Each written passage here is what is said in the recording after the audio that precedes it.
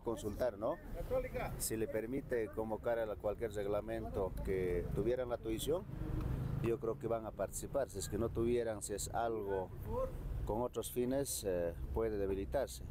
Pero cuál será el fin, no conozco yo de fondo mm, el tema de la convocatoria, ¿no?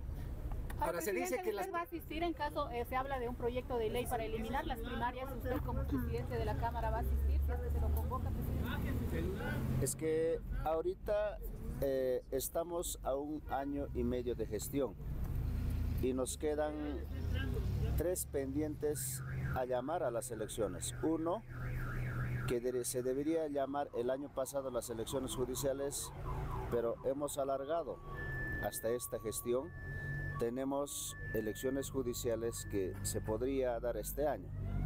Tenemos primarias este año. Y al año, quieranse o no, 2025 son las elecciones nacionales. Resolver las elecciones nacionales, es resolver tres elecciones eh, en un año y medio no me parece prudente. En este caso automáticamente tendría que suprimirse lo que es, ya mucho depende del pleno, podemos tener un proyecto para eliminar lo que es el tema de elecciones primarias y ir a elecciones judiciales este año y se cumple nomás el mandato constitucional el 2025 llamar a elecciones nacionales. Con eso sí hay una salida, pero si es que los tres elecciones van a seguir vigentes a 2025 no me parece correcto. Entonces, eso ya mucho depende ya la evaluación técnica, seguramente vamos a ver también el órgano ejecutivo como también legislativo y también en este caso el Tribunal Supremo Electoral porque Tribunal Supremo Electoral tiene que hacer cumplir lo que son eh, los procedimientos que nos enmarca.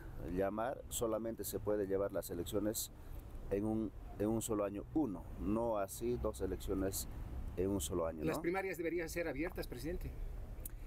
Eh, a ver, este tema es importante porque las primarias es importante.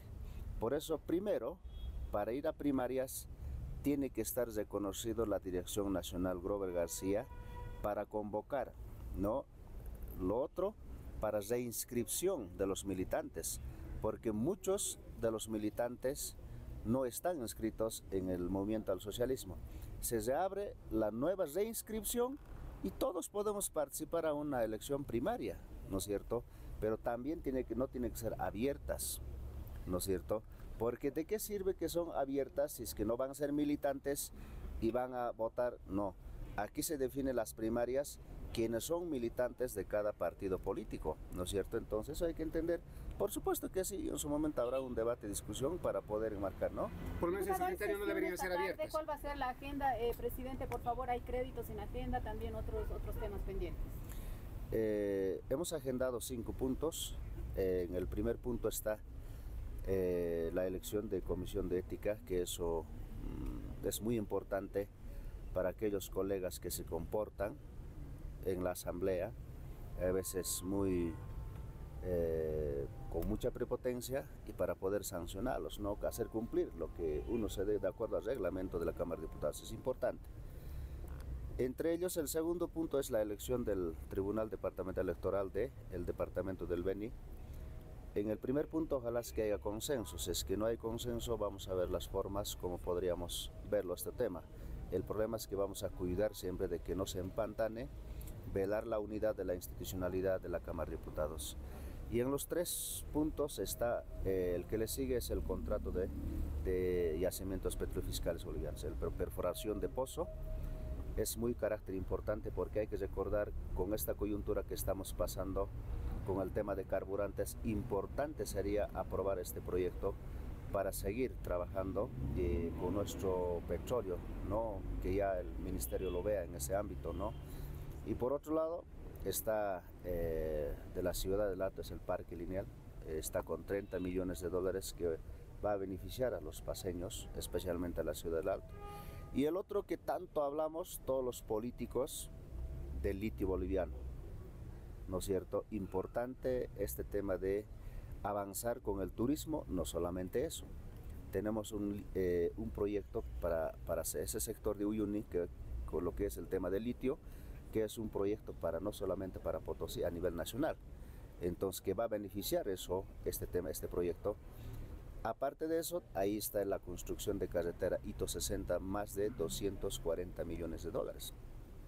Y si los políticos estamos pensando en el litio boliviano, oponerse a aprobación de la carretera de Hito 60 no me pareciera coherente. Pero consideramos también de que muchos parlamentarios, eh, estoy seguro que van a aprobar, eh, todos expresan eso, ¿no? Yo aplaudo de los diputados, colegas titulares, suplentes que aprobaron en anterior oportunidad 13 proyectos. Vuelvo a decir, no es eh, para buscar protagonismo como presidencia, no. Hay que aplaudir a esos diputados que verdaderamente aprueban de las tres fuerzas políticas la presidencia siempre va a buscar la unidad de la institucionalidad.